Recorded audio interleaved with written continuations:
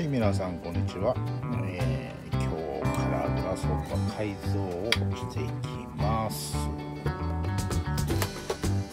シャーシーだけを使って足回りはまあ簡単な改造として DT03 の足回りを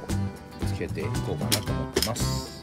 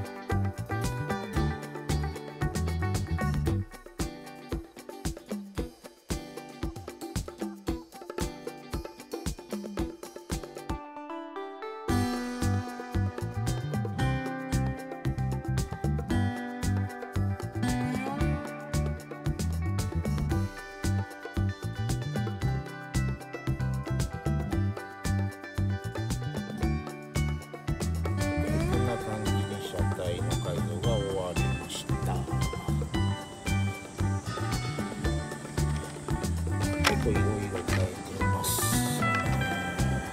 サードが軸が真ん中に来るようにちょっとだけこっち側にオフセットしてますフダンパーはツーリング用のオフロード用のシャットで長さを調節してつけてみましょう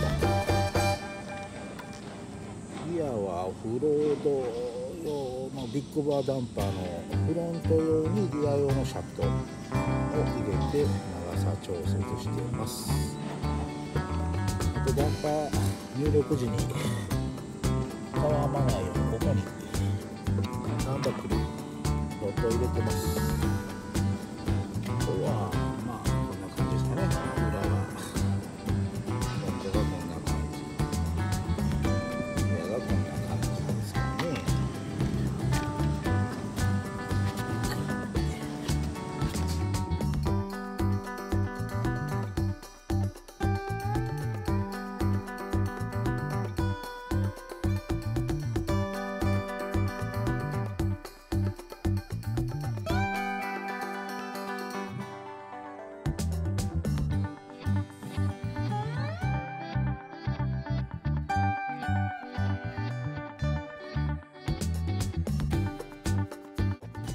動画面白いと思われましたらグッドボタンチャンネル登録 Twitter のフォローよろしくお願いします。それではさようなら。